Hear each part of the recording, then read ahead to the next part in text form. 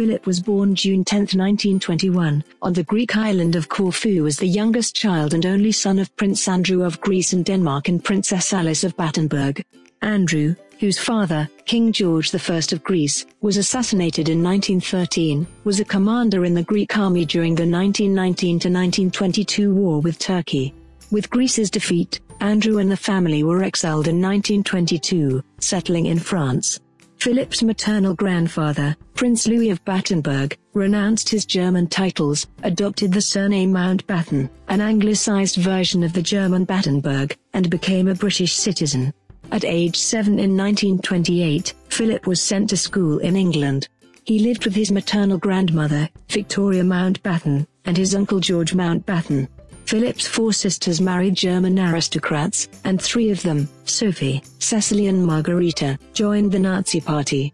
To be sure, one of his brothers-in-law was among those implicated in the 1944 plot to kill Adolf Hitler. In an interview with historian Jonathan Petropoulos published in his 2006 book Royals and the Reich, Philip stressed that he was never conscious of anybody in the family actually expressing anti-Semitic views, but he acknowledged there were inhibitions about the Jews and jealousy of their success. As a teenager, Philip joined the Royal Navy and went on to serve in World War II, including participating in the battles of Cape Matapan and Crete and the invasion of Sicily.